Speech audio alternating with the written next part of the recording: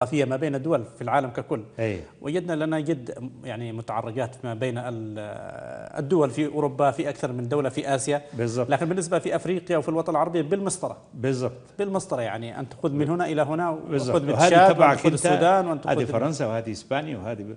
ولذلك آه، تعرضت افريقيا طبعا قبلها كان قبل الاستعمار الإمبريالي الأوروبي كانت ممالك صحيح. ومشايخ وافريقيا يعني كمجتمعات مجتمعات آه، بدائية.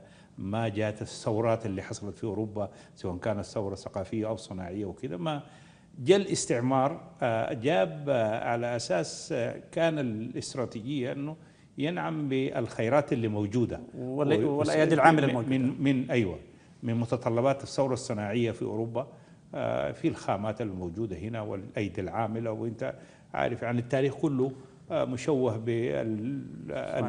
بالاسترقاق وكذا فيه.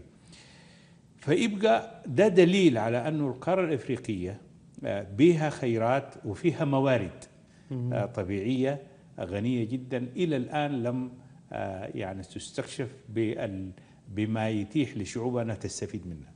فبيبقى في الجانب الاستراتيجي